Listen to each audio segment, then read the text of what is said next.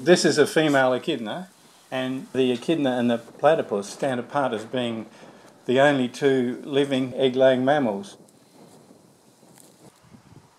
Well, the echidna has spines, and if you look carefully, you can see the spines are mainly on the back, and they've got a very spiny tail.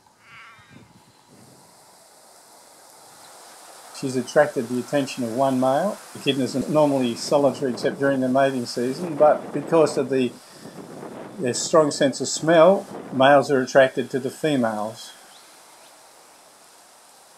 During the mating season, both the males and the females tend to lose weight because the females are constantly being harassed by the males and the males are too busy to eat. And as she comes out there, we can see one, then two males that have been attracted, and here's a third. And you can see the male using his beak, waving it round, putting it, putting it close to the female. Now there's probably smelling, inspecting and checking, but I think also there's some sort of tactile stimulation that he hopes to uh, get the female ready to mate. They are promiscuous because the, the females are certainly mating with a large number of different males, and the males are mating with as many females as they possibly can.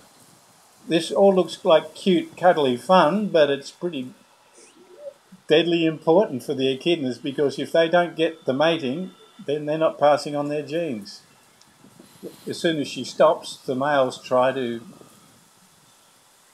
lift up her rear end and, and with their beaks and mate with her. Okay, the two males have walked on, but now one of them realises what's happened, dashes back, he's on alone, she's, she's not being chaperoned, and he's actually starts to mate. You see he's got his tail curled underneath it, and the second male realises what's coming on and he desperately tries to break it up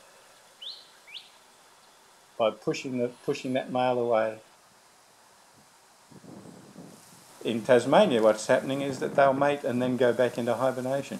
So, okay, that's over with, let's get back to what I wanted to do.